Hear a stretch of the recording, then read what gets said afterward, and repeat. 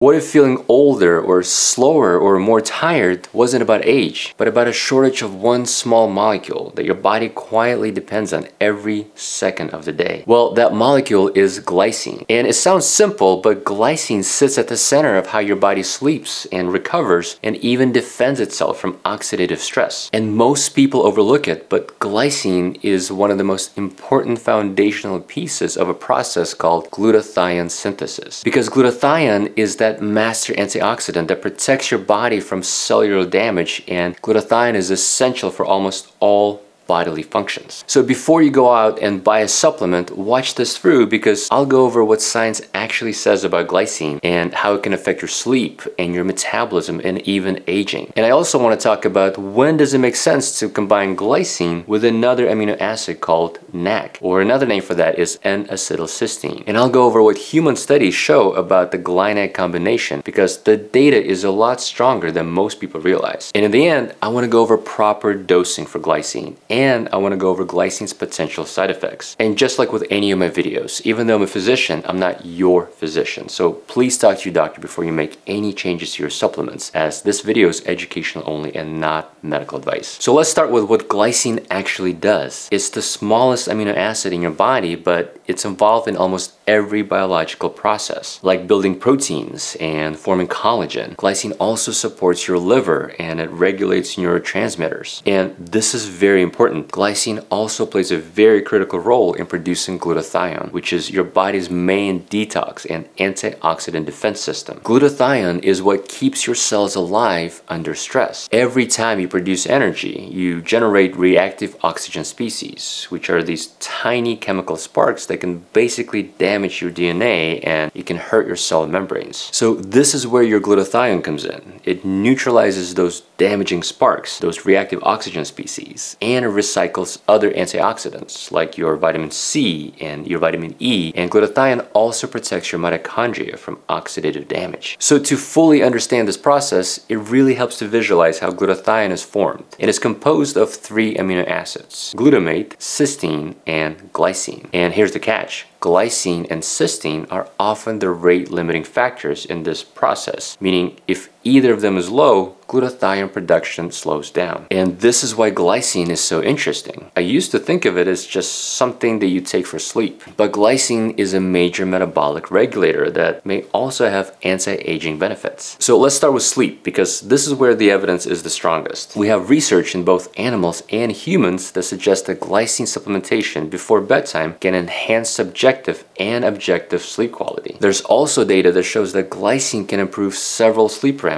like improve next day cognitive performance and alertness, and glycine can reduce sleep onset latency. Basically, it helps you fall asleep faster. And this is how it works. Glycine activates your NMDA receptors in your suprachiasmatic nucleus, which then leads to peripheral vasodilation. So what does that mean? Well, your suprachiasmatic nucleus is just a cluster of neurons in the part part of the brain called hypothalamus. And this is basically your internal clock that regulates your circadian rhythm. This is the part of the brain that receives light signal from the retina and it uses this signal to maintain your body's 24 hour sleep and wake cycle. So glycine activates the crucial part of the brain in a way that leads to relaxation of your blood vessels, which then causes more heat to leave your body and that in turn naturally cools your core temperature. And when your body temperature drops, this is when your brain gets the signal that it's time for sleep. But there's another amazing way glycine can help you with your sleep. Glycine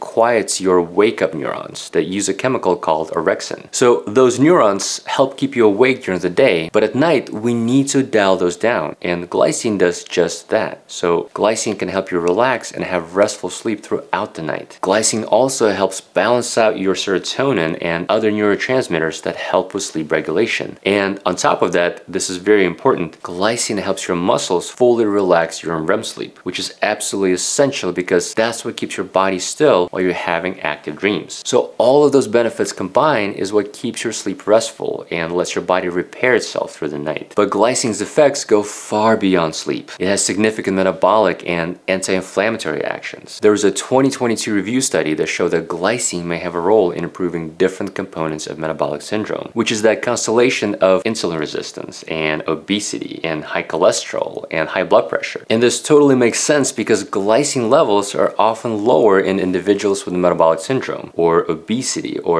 insulin resistance. So even though glycine is generally viewed as a non-essential amino acid because your body can synthesize it to an extent, there are studies to suggest that it may be conditionally essential in the presence of metabolic disorders like diabetes or fatty liver disease because then your body uses much more glycine and it may not be able to generate it in sufficient amounts. And there's multiple studies that show glycine's anti-inflammatory effects. But this is where we also need to pause and discuss another important component of glycine supplementation, and that is N-acetylcysteine or NAC. Some people prefer to take glycine by itself, but some say you should not take glycine unless you take it as GlyNAC or glycine plus N-acetylcysteine. So what's the big deal? Well, if you recall, the reason glycine is so important is because it's one of the three amino acids your body needs to make glutathione, which is an incredibly important antioxidant that basically protects every cell in your body from oxidative stress or damage. The other two amino acids are glutamate and cysteine. So when you take glycine alone, your body still depends on cysteine to complete that glutathione synthesis. But cysteine can also be that rate limiting step. Because it's so unstable, cysteine is easily oxidized and it's usually in short supply, especially if you're under stress or if you have a lot of inflammation or illness. So during the times when you need it the most. So the argument is even if you flood your system with glycine, you cannot build enough glutathione without more cysteine. So it's like trying to build a house with extra bricks but no cement. And this is where NAC or N-acetylcysteine comes in. NAC delivers cysteine in a stable form that your cells can actually use. And once your cysteine levels are repleted, then that's when glycine can finally become that critical finishing piece. So without glycine, you can't finish the molecule, but without cysteine, you can't even start the process. And this GlyNAC combo has been studied in both animals and humans. There was a 16-week randomized control trial in older adults that showed that GlyNAC supplementation improved multiple aging hallmarks, like mitochondrial dysfunction and oxidative stress. But what was even more amazing is that the group that took GlyNAC showed gains in muscle strength and faster gait speed, and GlyNAC helped improve cognitive performance. These are all important markers of healthy aging and increasing health span. And there was a small human study that showed that GlyNAC may improve insulin resistance in patients with type 2 diabetes. But one thing to emphasize, all of these studies were very small and short in duration. So the data on this is just not as robust or as strong as we'd like to see. Okay, so how do we decide whether you should take glycine or GlyNAC? Well, the way I look at it is if you're